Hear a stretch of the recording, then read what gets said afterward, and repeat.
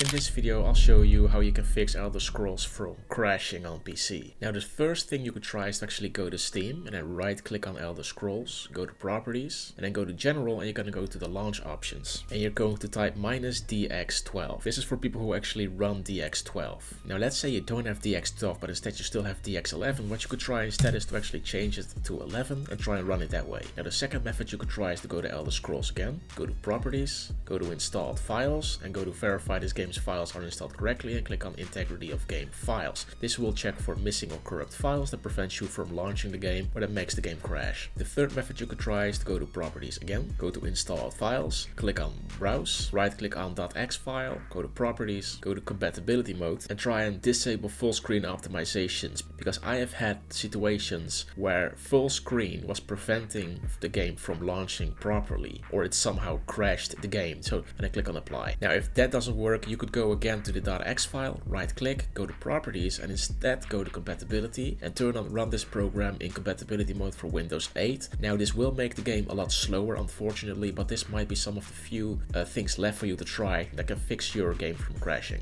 And on top of that we're gonna try and run this program as an administrator and then click on apply. Now let's say that didn't work either what you can do is go to search on your PC and type Windows Update Settings and you can try and check whether or not there's any updates available on your PC to make sure you don't have an outdated drive. Now the same counts for your game drive. Me personally, I use NVIDIA. So I'm gonna type NVIDIA and I click on the app. And if we go to the left, we can see drivers. We're gonna click on that and we can see that there is indeed an update available for our drivers. You can even see what specifically it is for. You can see here, this time it's for Black Myth and another game. And occasionally you are going to actually see Elder Scrolls in there as well. But regardless, it's always best to just update your drivers.